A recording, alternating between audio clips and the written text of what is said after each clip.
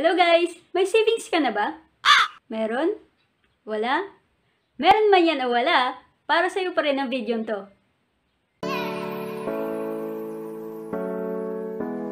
So good morning guys! Ang pag-uusapan natin today ay ang dalawang rason kung bakit kailangan mong mag-ipon.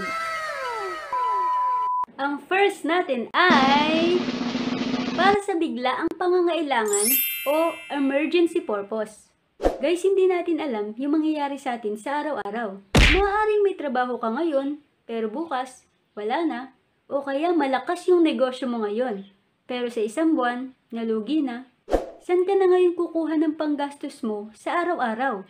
Yung pangkain, pambayad ng kuryente at tubig, pambayad ng renta sa bahay, at kung ano-ano pang gastusin.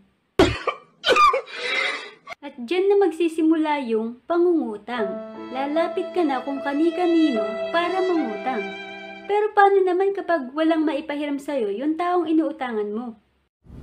No! God, please, no! No! Ano nang mangyayari sa'yo? Wala na. Finish na. Kaya guys, kailangan nyo na mag-ipon ngayon. Lalo na kung okay ka pa naman sa trabaho mo or okay pa naman yung negosyo nyo. Para kung dumating man yung araw na bigla kang mangailangan, hindi mo na kailangan mangutang. Kasi may savings ka na. Hindi naman kailangan na 50% ng kinikita mo ay ilagay mo sa savings, lalo na kung marami kang pinagkakagastusan. Mag-start ka sa kung anong kaya mo. Nasa 10% yung kaya mong isave? Eh, dun ka mag-start. 12%? 15%? Ang mahalaga naman, once na ginawa mo yon ay nakapag-start ka ng mag-ipon. Pero syempre, dapat tuloy-tuloy yon.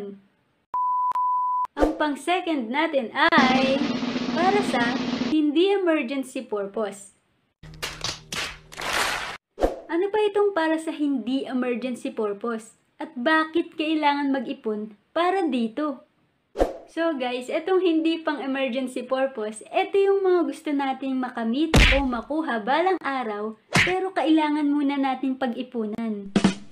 Tulad ng ano?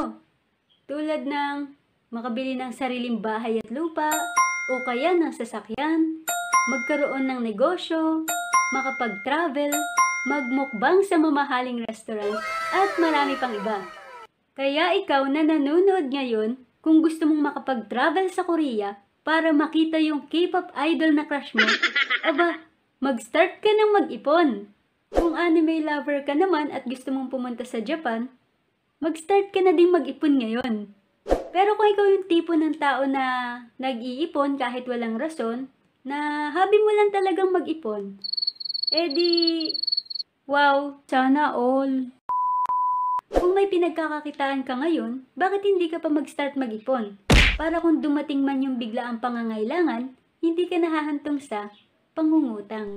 Kung nagustuhan niyo ang video natin today, huwag niyong kalilimutan mag-like at mag-subscribe. Thank you! Bye!